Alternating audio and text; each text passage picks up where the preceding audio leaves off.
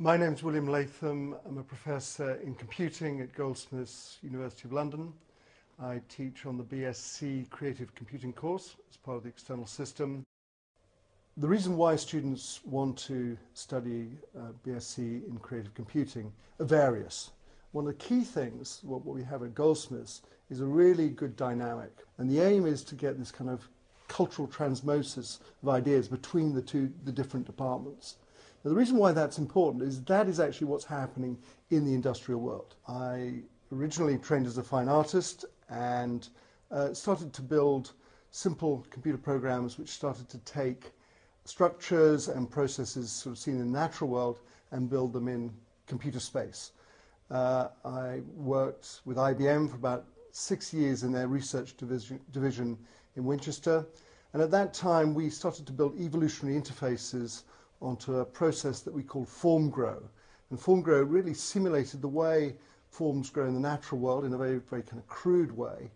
And we built user interfaces on top that enabled the artist to manipulate and control the direction of those evolutionary processes. So the research work we're doing at the moment is extremely exciting. We are now working with a bioinformatics team at Imperial College, and what we're starting to do is to manipulate the way creatively proteins fold. Uh, and we've built a number of software libraries that carry out this process. And some of the, the visual results were extremely interesting.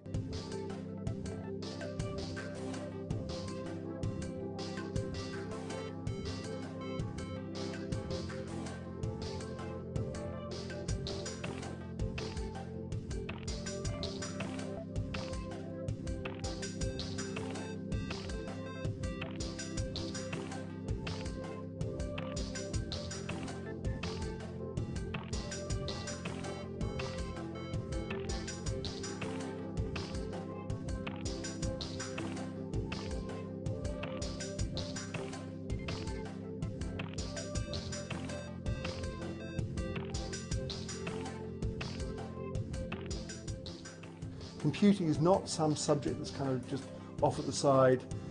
What's happening now is software development is being fully integrated with uh, social networking sites, computer games, scientific visualization, modeling of climate change. And the key for anyone who wants to go into industry now, they need to be good at programming, but also what they need to be able to do is engage fully in other applications, take on new ideas, adapt, to whatever the application that they need to develop for.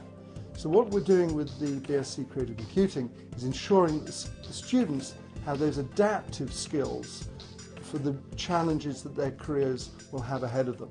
And we believe that is the key to producing successful students, is ones that can learn quickly, uh, apply the pro programming languages that they need to, and in particular have an open mind and an appetite for exciting opportunities.